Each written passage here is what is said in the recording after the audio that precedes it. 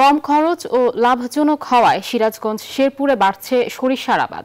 চাষিরা বলছেন সরকারি প্রণোদনা পেয়ে তাদের মুখে হাসি ফুটেছে। এবারও বাম্পার ফলনের আশা করছেন তারা। কৃষি বিভাগ বলছে কৃষকদের সব ধরনের সহায়তা দেয়া হচ্ছে। আব্দুস সামাদ সায়েম ও জুবাইদুল ইসলামের পাঠানো তথ্য ছবিতে ডেস্ক রিপোর্ট।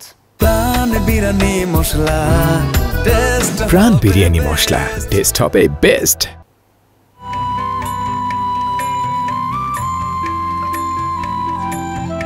দিগন্ত জুড়ে হলুদের সাম্রাজ্য।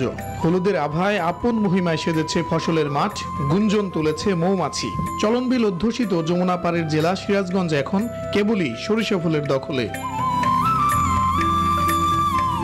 চোখ জুড়ানো দৃশ্যে ঘরে থাকতে পারেনি ভ্রমণ পিপাসুরা। যেন শিল্পীর তুলিতে আঁকা সৌন্দর্য দেখতে ভিড় জমিয়েছেন ফসলের মাঠে। এই সরিষার সময়ে আহ, হলুদের সমারোহ উপভোগ করার জন্য আমি সহ অনেক মানুষ এই অঞ্চলে এসে আহ, এটা উপভোগ করে। দেখা যায় এই সময় আমাদের অধিকাংশ শিক্ষা প্রতিষ্ঠান বন্ধ ছুটি। তো শীতের সময় এই সময়টা সরিষার মৌসুম চারিদিকে সরিষার হলুদ ফুলের সমারোহ। তো বন্ধুরা মিলে আসছি প্রাকৃতিক সৌন্দর্য উপভোগ করতে। সবারই খুবই ভালো লাগে এবং আমাদেরও ভালো লাগে তো তাই আমরা সবাই দেখা যায় এখানে আসা হয়। অল্প খরচ স্বল্প পরিশ্রম সঙ্গে লাভের পরিমাণও বেশি। কৃষকরাও তাই সরিষা আবাদে আগ্রহী হচ্ছেন। দ্রুত ফলন পাওয়ায় চলনবিল অঞ্চলে চাষ হচ্ছে বাড়ি চোদ্দ বাড়ি সতেরো ও বিনা নয় জাতের সরিষা।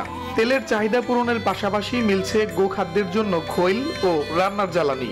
সেই সাথে লাভবান হচ্ছেন মৌ খামারিরাও তেল পাওয়া যায় খৈল হয় শস্যের কাটা দিয়ে জ্বালানি হিসেবে ব্যবহার করা যায়। খরচ হয় পাঁচ ছয় হাজারটার মতো খরচ হয় বিঘায়। কিন্তু সরিষা বিঘা পাঁচ ছয় মন হয়। গত বছর থেকে অনেক শস্য ভালো হবে। না ওই শস্যটা হলো অল্প দিনের শস্য শস্য তুলে আমরা ধান গাড়ি। সরিষার আবাদ বৃদ্ধির জন্য প্রতিনিয়ত কৃষকদের পরামর্শ দিয়ে যাচ্ছে উপজেলা কৃষি অফিস। এবছর সিরাজগঞ্জে পঁচাশি হাজার হেক্টর জমিতে সরিষার আবাদ হয়েছে যা গত বছরের তুলনায় প্রায় বাইশ হাজার হেক্টর বেশি। যেহেতু সরিষার দামটা ভালো রয়েছে এবং আমরা পরিকল্পনা অনুযায়ী আমরা সরিষা আবাদ বৃদ্ধি করবার জন্য আমরা কাজ করে যাচ্ছি তাই আমরা আশা করছি আমাদের সিরাজগঞ্জ জেলায় আগামী বছরগুলোতেও সরিষা আবাদ উত্তরোত্তর বৃদ্ধি পাবে। শেরপুর জেলাও এখন হলুদের রাজ্য। ত্রিশ হাজার কৃষককে সরকারি প্রণোদনার আওতায় সরিষা বীজ ও সার দেওয়া হয়েছে। ফলে বেড়েছে সরিষার আবাদ।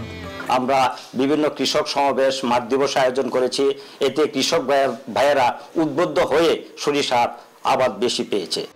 শেরপুরে এবছর সরিষা উৎপাদন লক্ষ্যমাত্রা নির্ধারণ করা হয়েছে পঁচিশ হাজার নশো পঁচাশি metric ton.